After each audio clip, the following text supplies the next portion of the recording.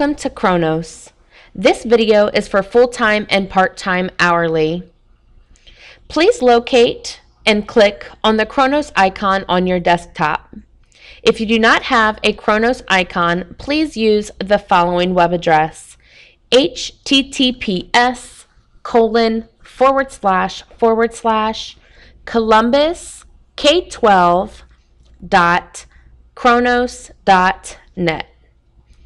Please notice that your new username and password is the same username and password that you use to log into your email and computer. If you forget your username or password, you will need to contact the help desk at 8425. Let's get started. When logging into Kronos, you'll notice that your time card automatically pops up. Here is where you will enter the number of hours in the appropriate date column across from the appropriate pay code. Then click on Save. For example, today I worked four hours. I'll enter four under hours worked and hit Save. Notice that after I hit Save, it now calculates down under the daily total as well as the totals column. For other non-worked hours, enter the amount in the appropriate date column across from the appropriate pay code. For example, four hours of an absence that is unpaid is now going to be recorded. Under tomorrow, I say I won't be here, so I'm going to put myself in as absent unpaid for four hours and hit save. Notice that the four hours calculates down at the bottom under the daily, and I get a cumulative under the totals column as well.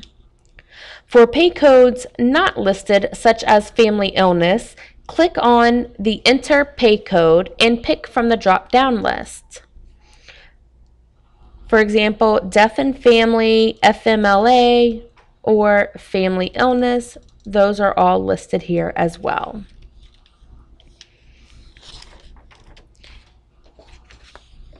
If you need to change the pay periods, you can do so by clicking the drop down arrow in the upper right hand corner.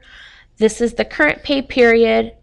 Let's go to previous so you can view what a completed time card may look like. For completed time card will look something like this. To maximize for your best view, you can do so by clicking on the maximize.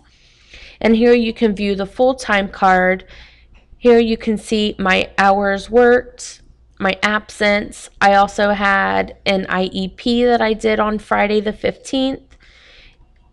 It'll give you at the end of each week your cumulative hours. Once a time card is approved, it will be yellow.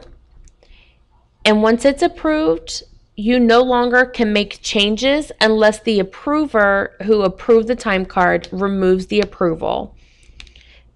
That is all for Kronos. Thank you.